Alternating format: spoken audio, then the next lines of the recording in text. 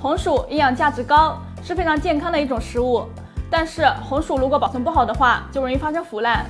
那么今天妙招姐就给大家带来一个保存红薯的小妙招，放一年都不会坏。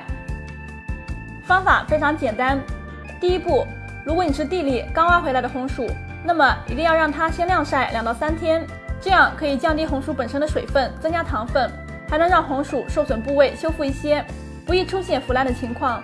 那么如果你是市场上买回来的红薯，一般就不用晾晒了。第二步，我们再准备一个纸箱，然后准备一些纸，用白纸或报纸都可以。首先，我们在纸箱的底部铺上一层纸，农村也可以用干草来铺。铺好后，再放上一层红薯。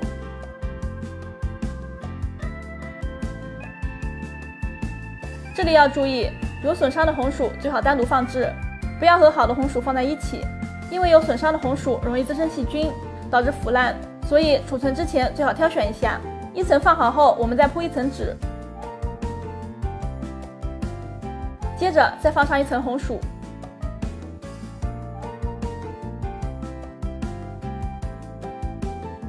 我们再铺上一层纸，以此类推，将所有的红薯都这样放好。全部都放好后，我们再把箱子用透明胶带封起来，最后我们再将它放在干燥的室内就可以了。那么这样放置一年，红薯都不会坏。其实这个原理也非常的简单，因为红薯受潮后就很容易引起病菌侵害，导致腐烂。而我们用纸箱来装，就可以起到很好的防潮作用。里面铺上纸，又可以起到吸潮的作用，所以红薯就可以保存很长的时间了。另外，红薯最适合保存的温度是十五度左右。如果太冷，红薯容易冻坏，形成硬芯；太热，红薯容易发芽。怎么样？这个保存红薯的小妙招是不是简单又实用呢？